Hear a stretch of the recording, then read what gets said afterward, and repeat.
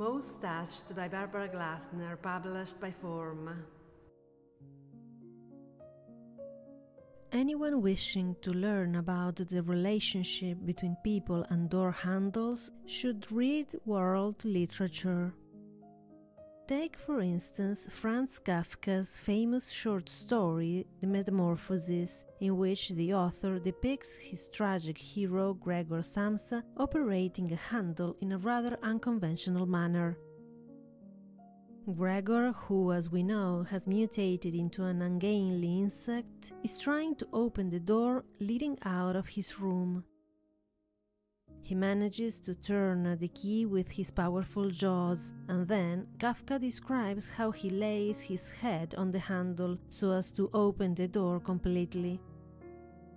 Gregor is relieved to discover he didn't need a locksmith to do the job, a minor though decisive point in the course of the story and anyone who reads books carefully will find plenty of references of this kind, since architecture plays a central role in literature.